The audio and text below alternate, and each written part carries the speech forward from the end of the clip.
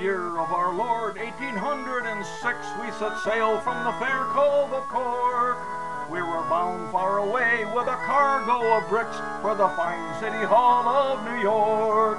In a very fine craft she was rigged fore and aft, and oh how the wild winds drove her. She had 23 masts and withstood several blasts, and we called her the Irish Rover. McGee from the banks of the Lee. There was Hogan from County Tyrone.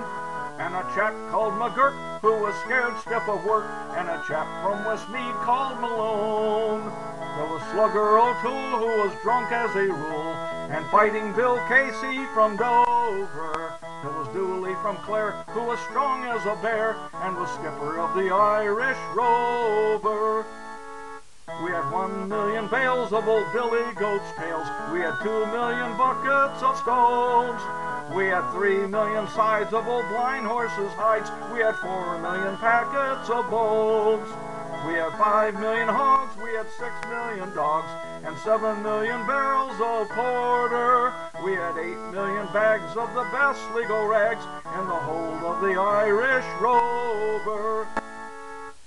Sailed seven years when the measles broke out and the ship lost her way in a fog. And the whole of the crew was reduced unto two, plus myself and the captain's old dog. Then the ship struck a rock with a terrible shock, and then she heeled right over. Turned nine times around, and the poor dog was drowned. I'm the last of the Irish Rover.